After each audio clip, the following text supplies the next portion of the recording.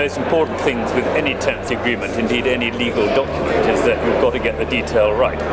And um, I mean, without question, one of the big areas where there are disputes in any tenancy situation is at the end of the tenancy where the inventory of property, contents and everything else has not been properly drawn up or professionally taken. So I'm absolutely focused that this is a crucial part of an effective tenancy agreement is what letting agents should do and it's really important so that at the end of the tenancy you have a happy landlord and you have a happy tenant. Would you agree that the outcome of the tenancy is decided at the beginning when it's set up correctly rather than at the end? I think in truth it's a bit of both. Anyone who is as a prospective tenant can see that the letting agents have got all the right range of information, that when it comes to the legal they've got the right documents prepared, that they've got the right schedule, the right inventory, um, then that's going to be impressive. And in reality though it also makes the um, end of the tenancy that much easier and less opportunity for dispute.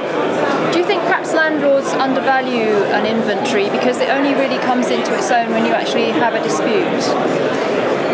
I think most um, professional landlords would understand the importance of an inventory being correctly drawn up at the very beginning. So I think that um, the right landlord will understand the importance.